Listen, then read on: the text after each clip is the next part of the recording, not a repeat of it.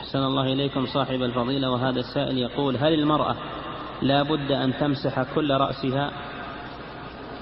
نعم تمسح رأسها لكن الشعر النازل الشعر النازل ما يلزم الضفائر ولا الشعر النازل لا يلزم أنك تمسح تمسح الرأس فقط.